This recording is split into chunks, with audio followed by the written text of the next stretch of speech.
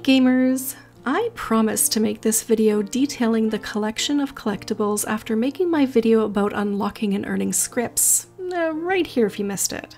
If you're looking to increase the number of crafting gathering scrips you have, or want to participate in custom deliveries but don't know how to get the items you need to turn in, this video will help you with that. So let's get started. Gathering collectibles. Remember that in almost every situation, if you're looking to see where you can gather an item, you can pull up the menu and click Search for Item by Gathering Method to show you where to find it in the game. For botanists and miners, go to these nodes and simply click on the item you need. It will pull up the collection minigame. It's as easy as that.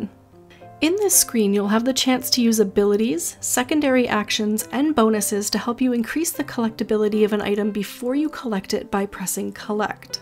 You have as many actions as there are gathering attempts at the node you are collecting from. So if you can find a node with additional gathering attempts, there is a greater chance that you can have better collectability. Mousing over, or putting your cursor on, each ability will bring up the tooltip explaining what each does. For each primary action, it'll also show you on the graph an estimate of how much it will increase the collectability by.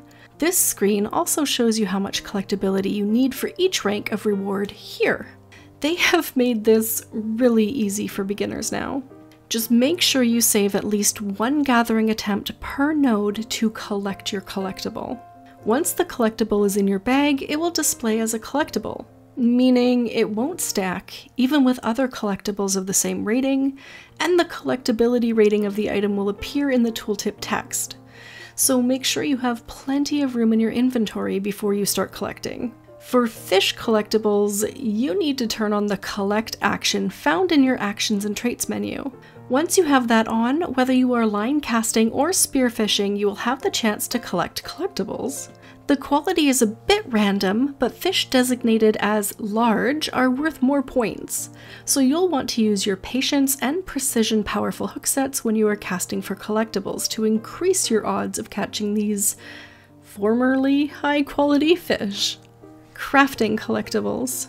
For all crafting classes, you can find collectible items in the Collectibles and Custom Deliveries tabs of your crafting log.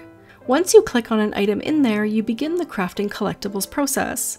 This looks nearly identical to the regular crafting minigame, except that there is a bar at the bottom, here, that shows the desired collectability points for each item. So convenient and it has the box here indicating that the item will be a collectible. Collectability is exactly the same as quality, so craft the item as you would normally, ensuring that the quality of the item falls within the ranges required for the turn-in. If you're looking for crafting materials for a custom delivery item, they are always found at a nearby vendor. Just double check how much of each item you need to make it. You can buy the materials to make the parts to make the item, or you can buy the parts themselves. Just do the math before you spend the gil, is all I'm saying. So remember how I mentioned in that video that each expansion's collectibles have their own prerequisite quests? Well, for you would-be collectors out there, here they are. So Inscrutable Tastes, level 50. Go West Craftsman, level 60. Reach Long and Prosper, level 60. The Boutique Always Wins, level 70 and expanding the House of Splendors level 80. There are additional quests to unlock each custom delivery client.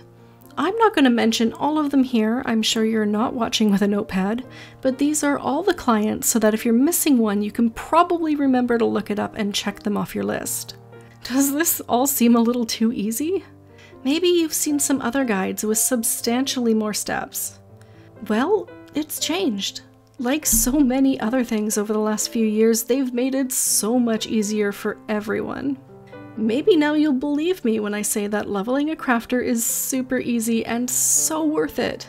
And if you want to know one reason why it's almost mandatory to craft in Final Fantasy XIV, click this video right here. I'll see you there.